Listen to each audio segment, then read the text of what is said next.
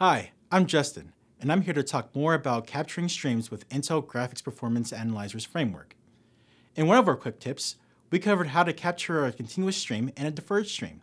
This time, let's imagine you have an application that takes a long time to start up and get to your rendered scene. Well, you don't have to keep restarting your application to capture a stream of each scene you want to analyze. Instead, just take multiple deferred captures. Launch GPA Injector with the capture layer set to deferred mode. Pressing the L key will begin deferred capture, and pressing the L key again will end deferred capture. If you want to capture again without stopping the application, just press the L key again and start a new capture. You can start and end captures as often as you like.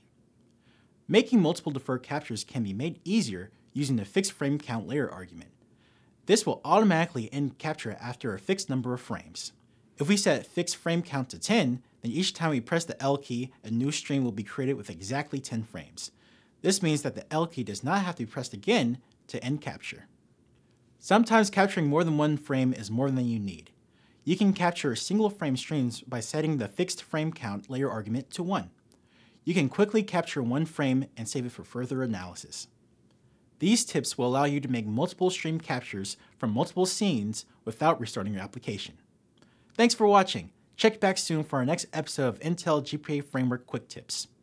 Remember to like and share this video and subscribe to the Intel Software YouTube channel for more Intel GPA Framework Quick Tips.